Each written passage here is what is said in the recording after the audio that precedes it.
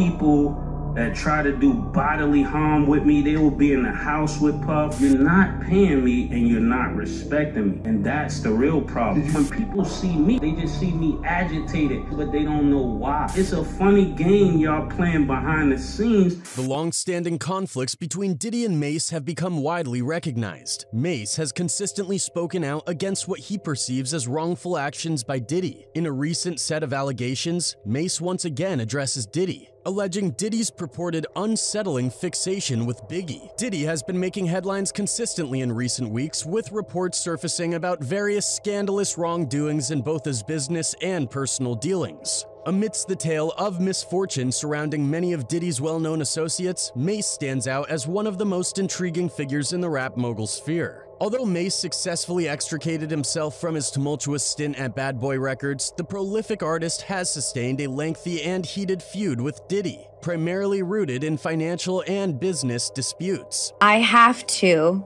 release him for any claims or wrongdoings or actions prior to the date of the release. In 1999, Mase took a hiatus from his music career to embark on a new journey as a minister. His decision was influenced by a series of unfortunate events that unfolded during his tenure at the Bad Boy label. The tragic and premature death of label mate The Notorious B.I.G. in 97 played a significant role in prompting the Can't Nobody Hold Me Down rapper to turn to spirituality.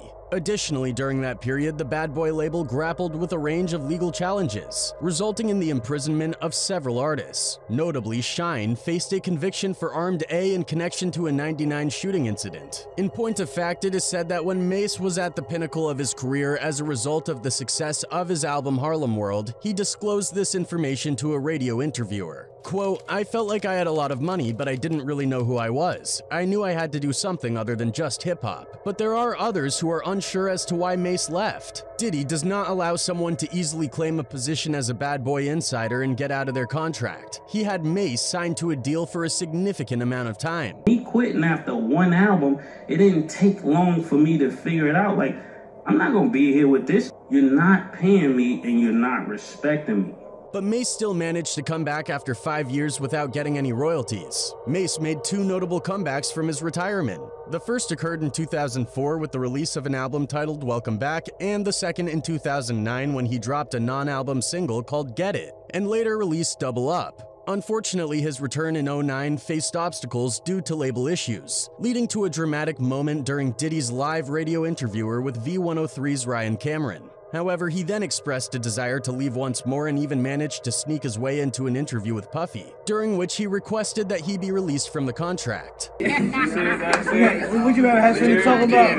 You had nothing to talk about right now. Got something to talk about. No, this is freedom paper. Then in 2016, he made his return during a Bad Boy Records tour and immediately began criticizing his ex-boss. After that, he went live on Instagram to explain the circumstances around the incident. When I see the hurt and the pains of other people on Bad Boy, that motivates me to say something so I don't be deemed as a person who just made a bunch of money and turned a blind eye. Despite a seemingly heartfelt speech at the Grammys, tensions between Mase and Diddy persisted, with Mase resuming his criticism of the mogul.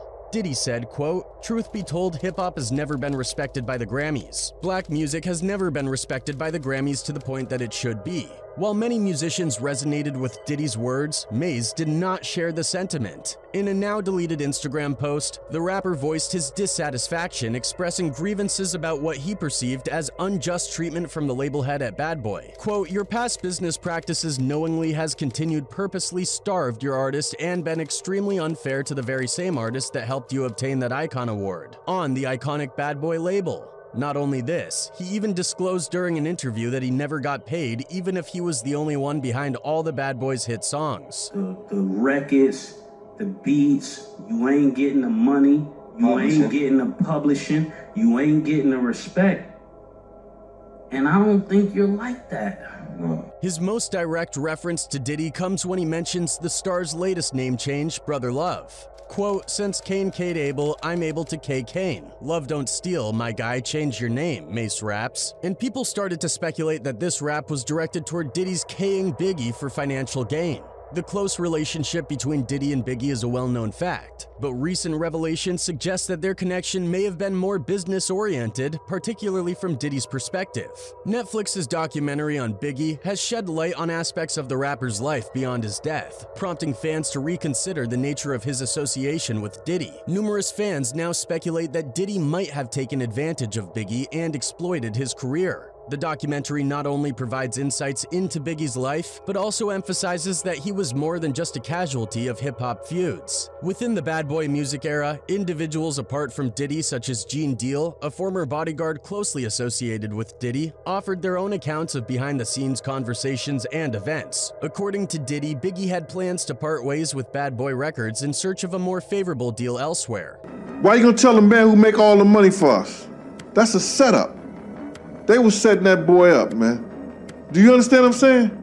Allegedly, Diddy had a significant financial stake in Biggie's success, making it a considerable challenge if the rapper decided to part ways with Bad Boy Records. While the tragic narrative surrounding Biggie's unsolved M and the events leading up to it is widely known, Fans have sought to understand whether Diddy played a role in the rapper's demise. Biggie, a Brooklyn born MC, lost his life in Los Angeles shortly before the scheduled release of his album Life After Death. And I seen big contract, and it was talking about, well, you get 250,000, you know, uh, for signing. You're going to get another 250,000 if thing go gold. Gene Deal, a former bodyguard closely associated with Diddy, recently shared insights on DJ Vlad's vlog, suggesting that Biggie had diverse plans before his untimely death, with a new record deal being one of them. According to Deal, he had a chance to see Biggie's bad boy contract when entrusted with watching over Diddy's briefcase during a flight. The contract detailed Biggie's earnings in increments of $250,000 with publishing income remaining under Puff's control. In Deal's account, he questioned Biggie about this arrangement, and the rapper allegedly disclosed his intentions to leave Bad Boy for a lucrative deal surpassing $60 million.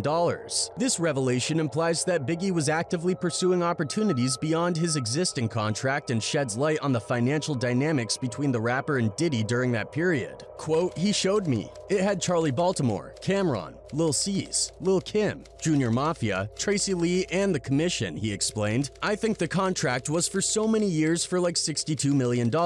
It comes out to 62 million. Deal asserted that Big wanted to stop Junior Mafia's way of doing business and have them start writing and holding their own. In addition to planning his departure from Bad Boy Records, Biggie reportedly intended to bring Lil Kim and Gene Deal with him to the next label. However, he believed that Deal's loyalty to Puffy might pose a hindrance to such a move. Big was like, yo, Gene, I like you. I would take you with me, bruh, but you love too much.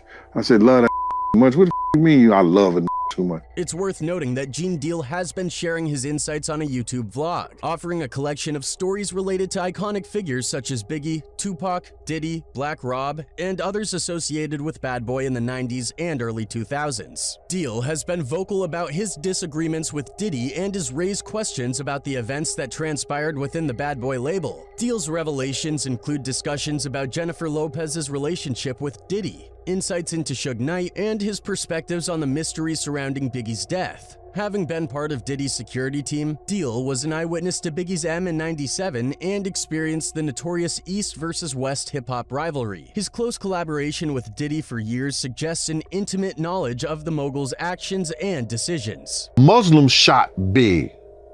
And I said to Paul, with the blue suit, white shirt, blue bow tie, he said, Gene, how you know? I said, that walked up to Puff car first.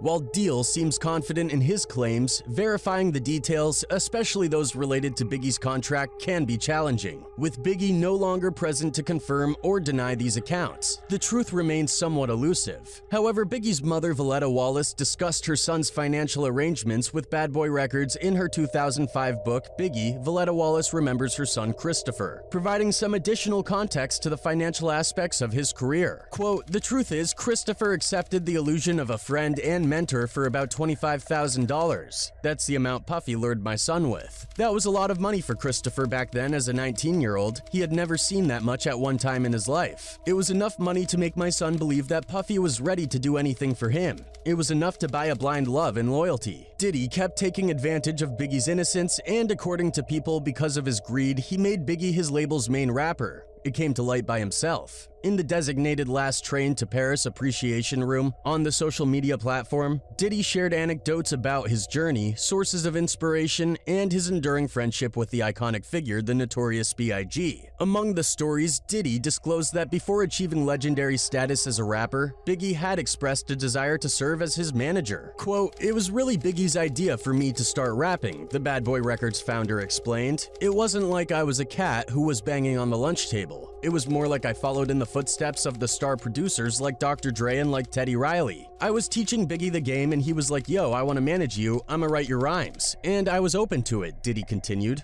Under Biggie's management, the pair released It's All About the Benjamins and Can't Nobody Hold Me Down, which featured Mase. Both tracks landed on Diddy's studio debut No Way Out. We did them at the same time, released them at the same time. Diddy said of the songs, so that's one of the reasons why I'm here. Diddy also reflected on the moment he realized the power of hip hop and setting trends, which for him was seeing thousands of people bum rush the stage during a Run DMC show. Quote, You have that first tier, that's the floor. Then you have that second tier. I was in that second tier to the left, like 12 rows back, he began. I was sitting there, and Run had held up his Adidas and said, Everybody hold up your Adidas. And I saw 30,000, 35,000 extra cats just bum rush the door. Like the barrier was on a tilt, and when I looked up there, I was like, I don't know what that is, but I want to do that. That was like the tipping point, he continued, that triggered me as far as understanding the power of us and making brands. I was like, I want to do that up there, but I also want to do everything. Harnessing the force of manifestation, Diddy eventually achieved the feat of selling out his own show at the very venue where he once occupied a seat as an observer. Reflecting on the experience, he recounted being elevated for the performance and gazing down at the very seat he once occupied. Quote, I saw that seat that I had been sitting in and I came down to victory. It's all about manifestation and belief every day presents a new opportunity, he emphasized. So many people have concluded that he wanted more money. He knew that Biggie would make him bucks of dollars overnight and it would only help him financially. In an interview, DMX also shares his fond memories of Biggie and explains how Biggie helped him appreciate a smile. I never saw Biggie smile until after he died. It was in the hypnotized video, said DMX. When I saw it, I was like, wow, he was really enjoying his life and it got taken away from him. It was then that I cherished a smile. But people have been suggesting that there was something wrong between Diddy and Biggie from the very beginning.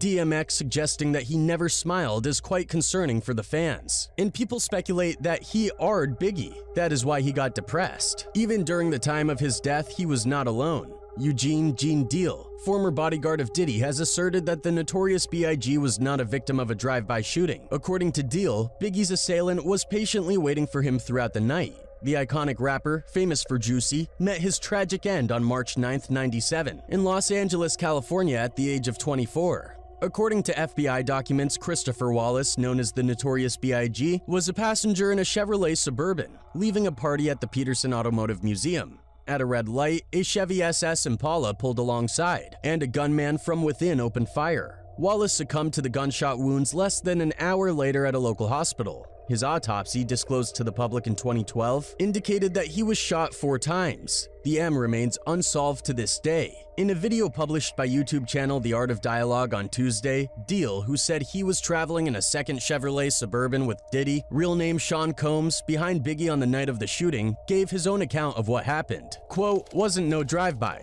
The car was standing there at the corner, he said. The stories they tell is not truthful, and now people are sitting here believing. Deal added, every Biggie movie that you see, they say it's a drive-by. When the witness tells you the car was stood right there at the corner, the car was probably there all night. Eugene Gene Deal, in a prior statement, expressed his belief that the notorious B.I.G. was not the intended target on the night of his tragic death. In an interview with Vlad TV last year, Deal disclosed that he had received information earlier that day suggesting that individuals were targeting Puff Daddy at the time with the intent to K him. I said to him, Puff, I've got some intel. The guys are coming to us tonight at the museum party, Deal recalled. In an FBI investigation file obtained by The Sun in 2018, Deal made the same claim. Quote, Deal noticed an unknown black male, UM, wearing a blue suit, white shirt, blue tie, receding hairline with hair cropped close, approach where Combs' car had just arrived, said the document, according to The Sun. While Combs and others took pictures and mingled with the crowd, Deal intercepted the UM as he tried to approach Combs' car. Deal pulled his G out of his waistband and showed it to the UM as to be telling him to back away. Once this UM saw Deal's G, he walked away from Combs' car, heading eastbound on Fairfax Boulevard and got into a car that was parked on the corner exactly where Biggie was shot and, according to Deal, was most likely the car that committed the shooting.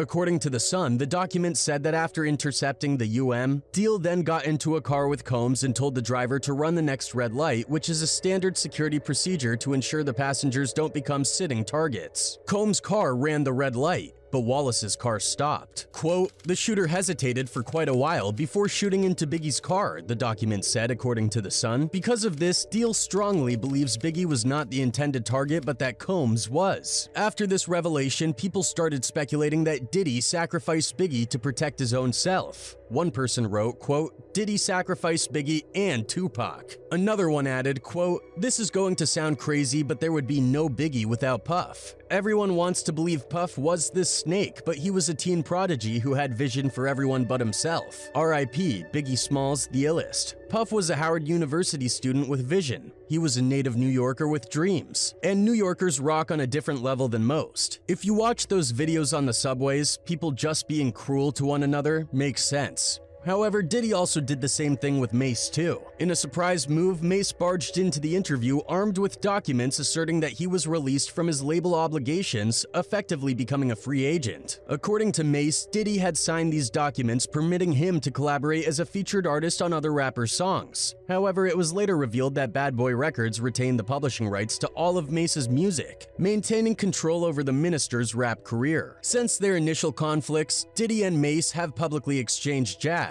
In 2020, Mase expressed his grievances on Instagram, revealing that Diddy declined to sell back his publishing rights. Mase went as far as stating that he offered over $2 million to acquire the entire catalog. The rapper turned minister channeled his frustration into music, releasing a track in 2022 titled Oracle 2 The Liberation of and Betha. This song served as a platform for Mase to further articulate his sentiments and air out his grievances against Diddy. In the track, Mase raps, quote, Yeah, I'm just a Harlem guy repping down a Vegas strip with my own shug. You're from Mount Vernon, go and rep your own hood. You ain't no architect, you just a guy who knows how to market death. Diddy reacted to the track by branding Mase a fake pastor. He also asserted that Mase still owed the label a $3 million album advance for a project that he never delivered. Seems like he always just talks about money.